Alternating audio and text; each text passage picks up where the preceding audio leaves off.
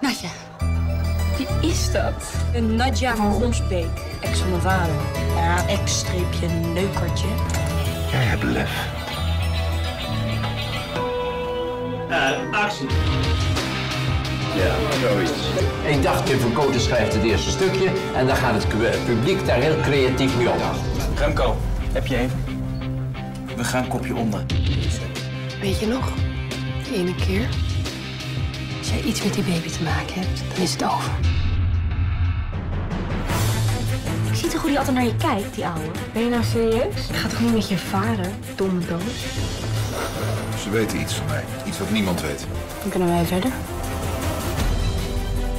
Altijd al een hele nacht met jou willen doorbrengen. Er gebeuren dingen en er zijn relaties, maar wat zijn die relaties en wie is met wie en wat zit erachter? Ik wist het! Wanneer haal je je kop nou eens uit het zand? Je hebt het verkloot!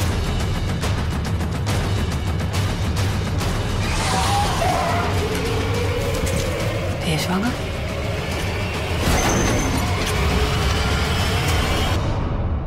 Ik vind het heel belangrijk dat je jezelf dwingt om te springen in het onbekende. Om iets te doen dat je niet kent.